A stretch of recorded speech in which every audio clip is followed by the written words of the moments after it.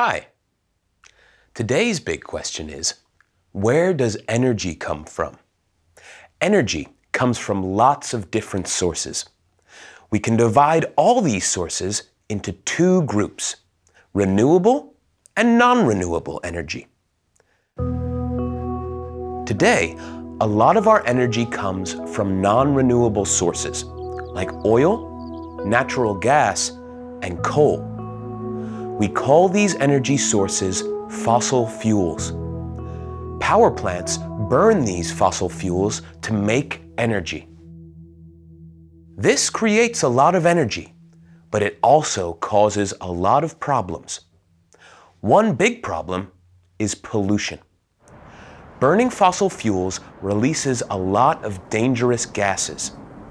These gases pollute the atmosphere. Another big problem is that fossil fuels can't be replaced. Once they are used, they are gone forever. So, what can we do? Well, we can use clean and renewable energy sources. Do you know any?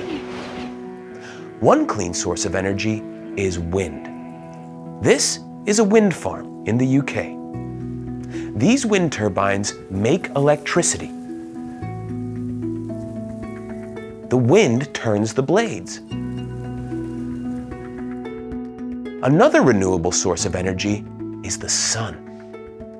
These solar panels convert the sun's energy into electricity. This electricity can then power cars, homes, even entire cities. Can you think of any other sources of energy? We can also use water to generate electricity. This is a hydroelectric dam in Iceland. The water here turns a big turbine, similar to the turbines in wind farms, to make energy. Wind, sun, water.